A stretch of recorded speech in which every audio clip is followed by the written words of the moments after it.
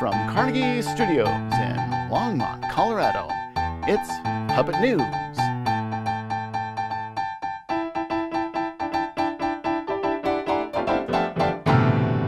Good evening. I'm Herman Hansen, and like I am so sure.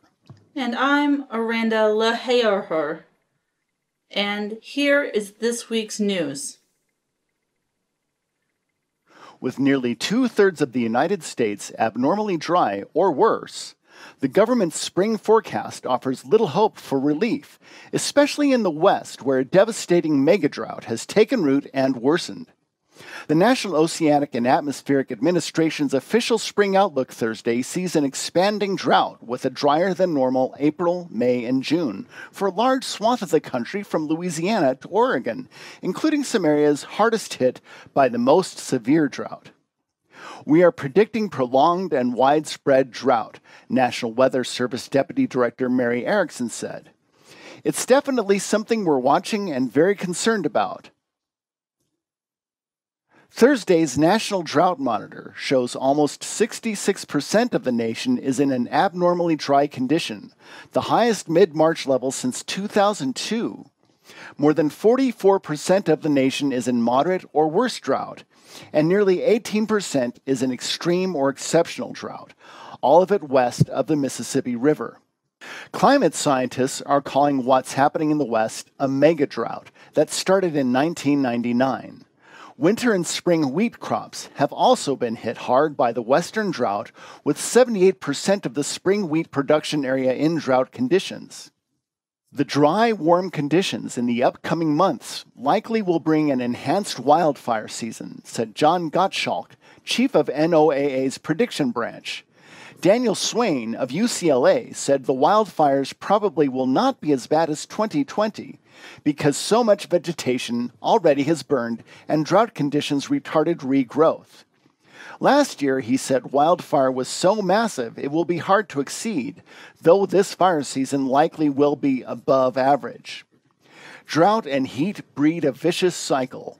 When it's this dry, Less of the sun's energy goes to evaporating soil moisture because it's not as wet, Swain said. That leaves more of the energy to heat up the air, and the heat makes the drought worse by boosting evaporation. Eleven people have died this year from avalanches in Colorado. Historic snowfalls last weekend prompted the Colorado Avalanche Information Center to issue an avalanche warning across the Front Range. The number of deaths is only one away from a record set in 1993, and experts believe the count of deaths this year is higher due to more seeking the backcountry to ski rather than resorts.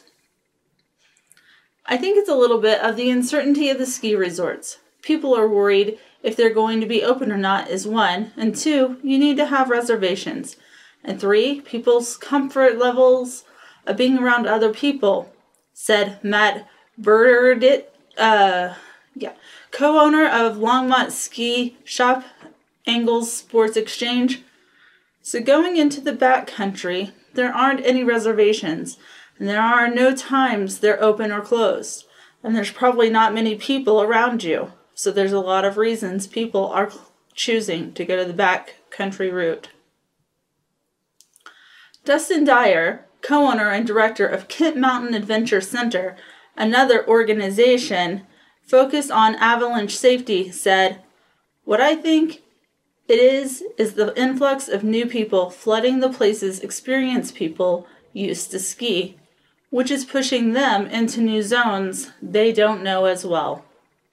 A Facebook page appearing to belong to a Georgia Sheriff's Office spokesperson who was helping to investigate the recent massage parlor slings promoted a t shirt with racist language about China and the coronavirus last year.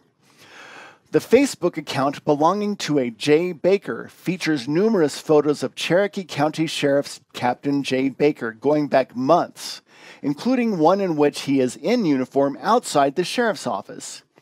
The account was deleted Wednesday night.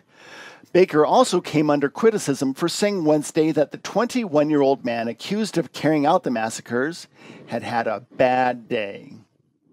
Asian American activists said Baker's comments and the Facebook post undermine public confidence that investigators are adequately addressing Tuesday's atrocity.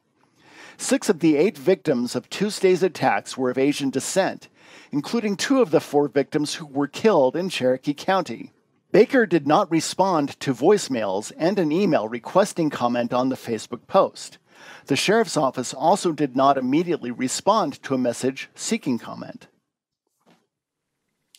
Longmont will continue to participate in a $100,000 region wide effort to monitor unregulated compounds that make it into the city's drinking water supply. By a unanimous vote Tuesday night, City Council agreed an amendment to a pact with the Northern Colorado Water Con- Conservancy? Conservancy, yeah, um, district to gauge the presence and concentrations of pharmaceuticals personal care products, hormones, and pesticides in water sources. The program monitors contaminants from a variety of sources, including wastewater, run, runoff from lawns, and agriculture and recreation. Monitoring is conducted biennially at more than 20 sampling locations to assess impacts of trends and changes in water quality. The effort also helps assess the impacts from adverse events such as floods and wildfires. China has protested to the United States and Japan over a joint statement it said maliciously attacked its foreign policy and seriously interfered in China's internal affairs, the foreign ministry said Wednesday.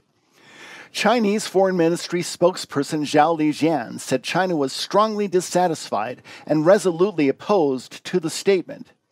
His comments came a day before U.S. Secretary of State Antony Blinken is due to meet with Chinese Foreign Minister Wang Yi and top foreign policy advisor Yang Jiechi in Alaska.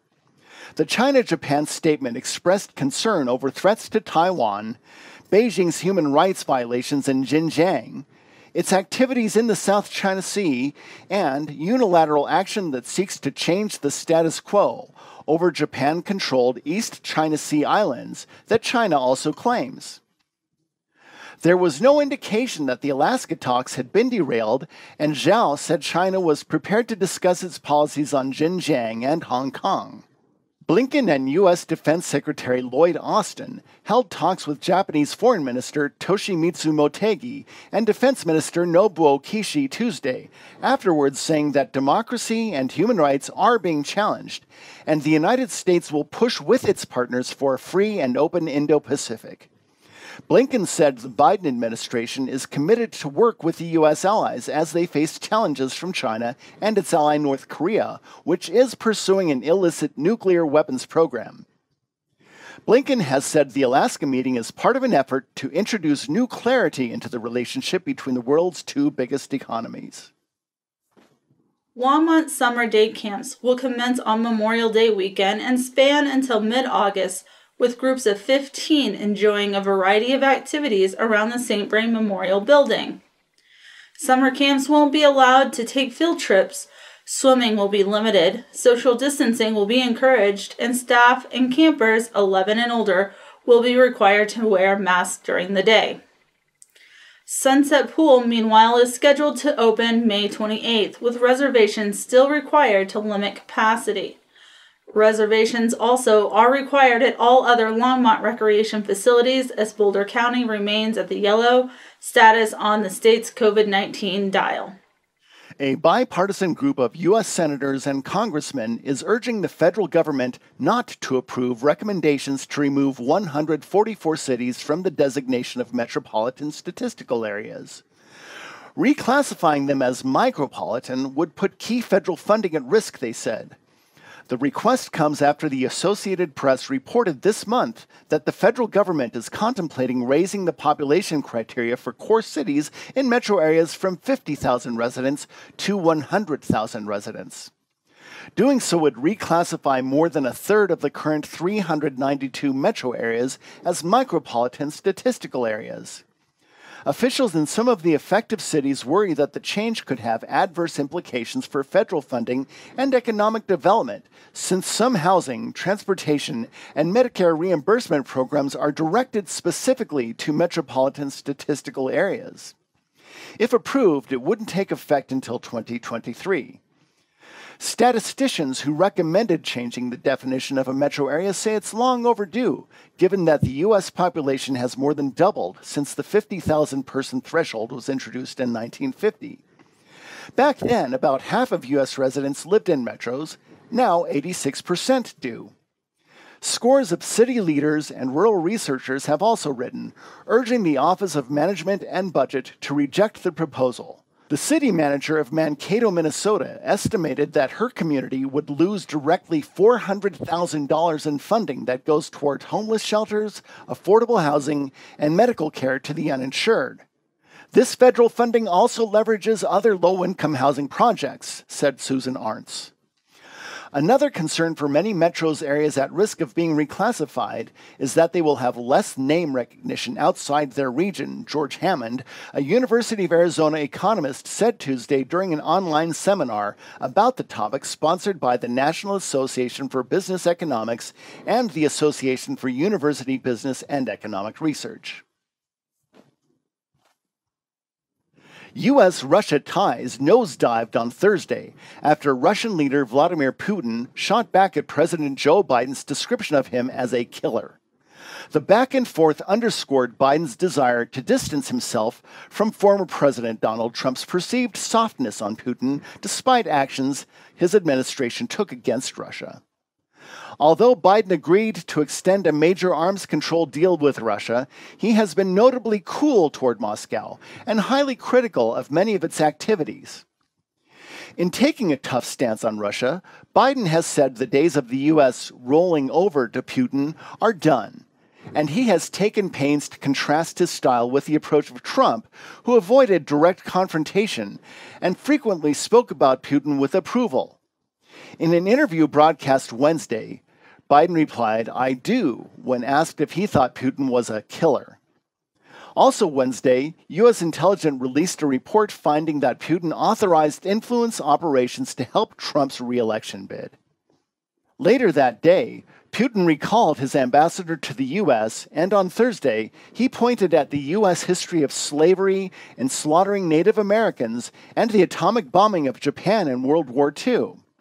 Responding to that, the White House said Biden would continue to look to work with Putin on areas of mutual concern, but stressed that he was not going to hold back when he has concerns about Putin's actions.